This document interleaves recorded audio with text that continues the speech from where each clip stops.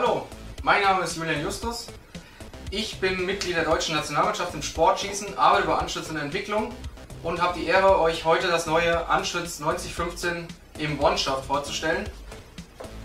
Ich nehme es mal eben hoch.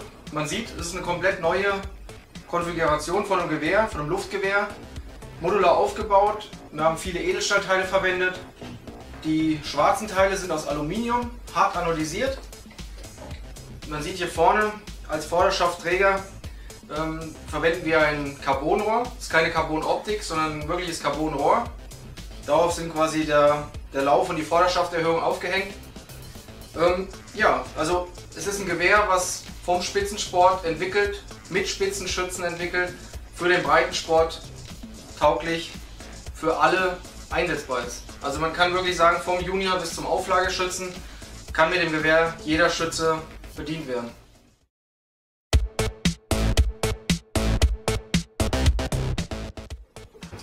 Ja, jetzt gehen wir mal näher auf den Schaft ein. Im hinteren Teil die Schaftkappe, neues Design, neue Konzeption, noch nie da gewesen. Ziemlich schlanke Bauweise, selbsttragende Bauweise durch Ringelemente, Verstellmöglichkeiten in jedem Bereich, optimal anpassbar an die Schulter. Und durch die schlanke Bauweise hat man als Schütze die Möglichkeit, den geringen Druck, den man in der Schulter über die Jacke transferiert, besser zu spüren und somit wiederholgenauere Punkte zu kreieren. Wiederholgenauigkeit ist der Schlüssel zum Erfolg. Von da aus ähm, bringt uns dieses Konzept weiter. Wir haben eine Auflagestange, die wir hier sehen. Mit der stellt man sich quasi die Pressurpunkte auf der Brust ein. Ist bekannt von Holzschäften, älteren Aluminiumschäften. Man hat Auflagepunkte auf der Brust. Jedem nach seinem Gefühl, wie er das möchte, kann sich die Stange einstellen. Ähm, des Weiteren haben wir die Möglichkeit, die Kappe, wie bei unseren älteren Schaftkonzepten, zu schwenken justiert wird durch Anziehen der beiden T20 Torx-Schrauben. Wir sind auf Torx gegangen, weil sich in letzter Zeit ähm, einfach gezeigt hat, dass es robuster ist. Durch Lösen des Sperrelementes in der Parallelverstellung. Das ist auch ein weiteres patentiertes Konzept des neuen Schaft One-Schaftes. Ich löse die Relativbewegungslatten. Ich habe sie entsperrt und habe so quasi die Möglichkeit, man sieht, die Kappe bleibt absolut im Winkel zum Lauf stehen und habe quasi einen riesen Mehrwert durch dieses Schaftkonzept. Mir dieses Gefühl, was ich mir in der Schulter erarbeitet und eingestellt habe, auch über Höhenänderungen weiter zu behalten. Fixiert wird das Ganze wieder mit dem T20 durch einfaches Anziehen einer Schraube Sie sperrt durch ein Element die Relativbewegung der beiden Kappen. Gehen wir einfach zur Längenverstellung des Schaftes. Da haben wir quasi die Möglichkeit über Lösen der einen Schraube im unteren Teil den Hinterschaftarm in der Länge zu verstellen, was uns quasi dann die relative Schaftlänge verstellt. Man sieht, das ist jetzt die kürzeste Variante, ist wirklich für ein, für ein Juniorgewehr konzipiert und in der längsten Variante man sieht, das ist der Verstellbereich. Das ist ähm, ein maximaler Verstellweg, den wir in keinem zuvorigen Schaftkonzept verwirklichen konnten und bietet uns quasi die Möglichkeit, das gleiche Gewehr für einen Junior, für einen Erwachsenen und sogar für Aufgelegtschützen zu verwenden. Ich stelle mir das ein, habe ich meine Einstellung gefunden, Festziehen einer Torx und die Schaftlänge ist definiert. Des Weiteren habe ich die Möglichkeit über die Schaftbacke, gehen wir jetzt näher auf die Schaftbacke ein, wieder der altbekannte T20. Ich löse eine Schraube und kann das gesamte Backenkonzept, Backenkomponente ähm, herausnehmen und verstellen.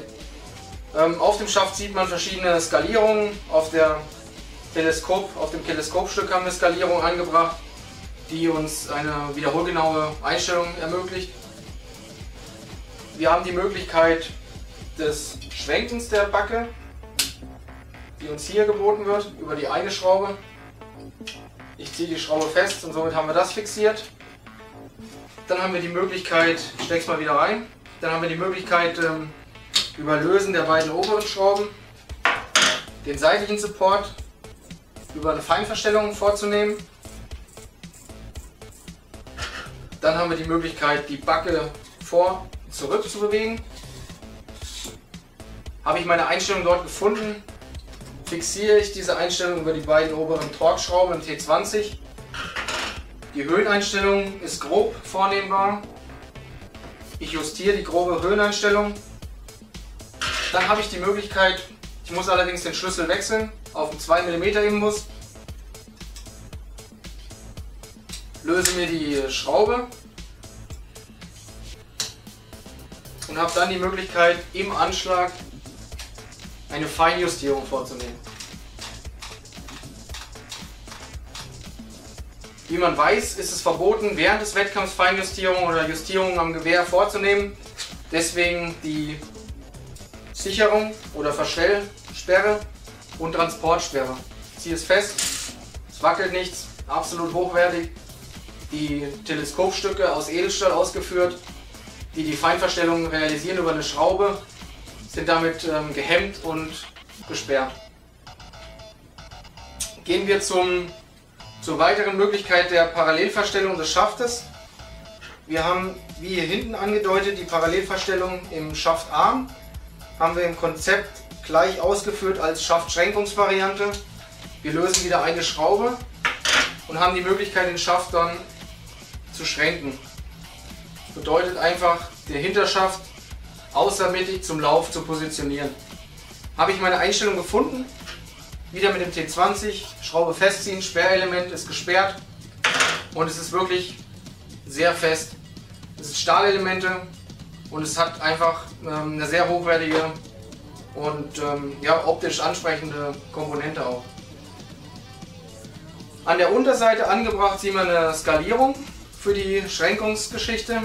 Wir sehen direkt wir können direkt ablesen, wie viel Millimeter außer Mitte der Hinterschaft zum Lauf sich befindet.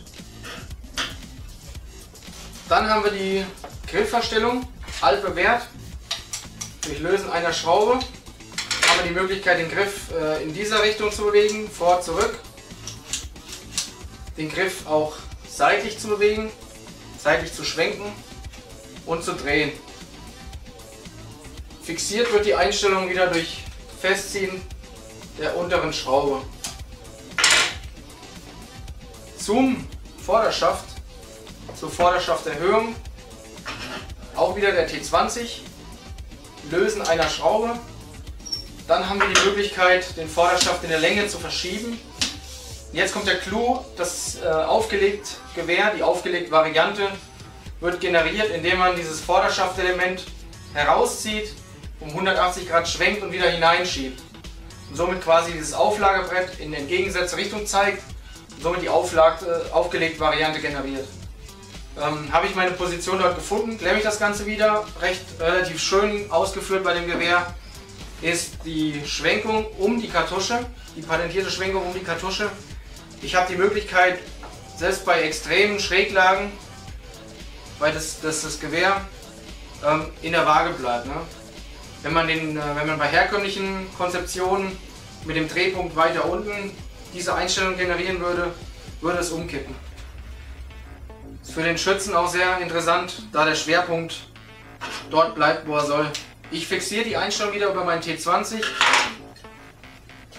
habe dann die Möglichkeit, die Schaft, Vorderschafthöhe auch wieder über die patentierte Parallelverstellung, die man dort eingebaut, dort, dort sieht, auch wieder durch Lösen einer T20. Wie gesagt, ich sperre damit diese Parallelstücke und kann dort meine Höhenanpassung vornehmen. Relativ geschickt gelöst bei der Variante ist, dass die Skala direkt auf dem Vorderschaft aufgebracht ist. Also man sieht direkt, was ist mein Istmaß von Laufmitte zu Vorderschafterhöhung Unterkante.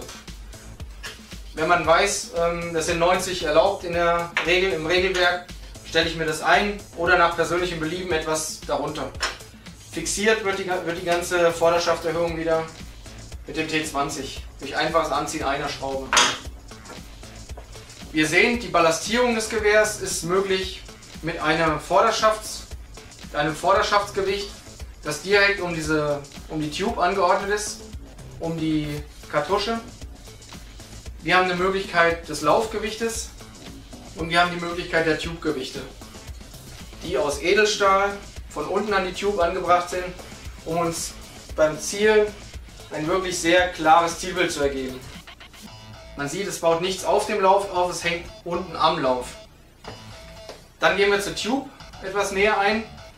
Die Tube ist aus Edelstahl gefertigt, ist äh, schwarz, diamantbeschichtet, ist eine DLC-Beschichtung und ähm, in der Länge durch Lösen der beiden Madenschrauben auf Junior-Variante oder Erwachsenen-Variante mit maximalem, maximaler Systemlänge von 85 cm justierbar.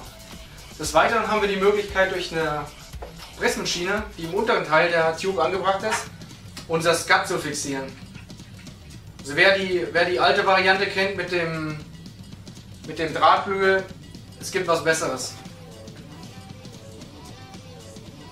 Ja, das war's soweit.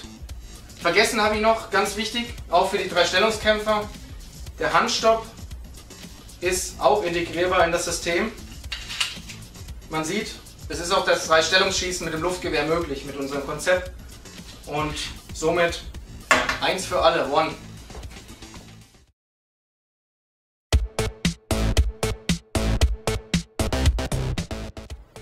Das neue Anschütz 9015 im One-Shaft ist absolut ISF regelkonform. Es wurde von mir bereits auf mehreren Weltcups diese Saison geschossen. Es wurde vor jedem Start der Technischen Kommission der ISF vorgelegt und ohne Beanstandung zugelassen.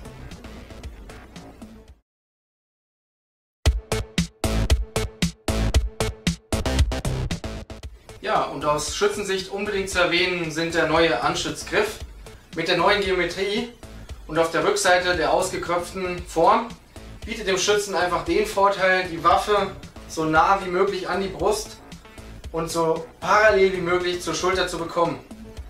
Der Anschlag wird dadurch stabiler und das Gefühl besser. Ein weiteres Plus bei dem, bei dem Gewehr ist der Abzug.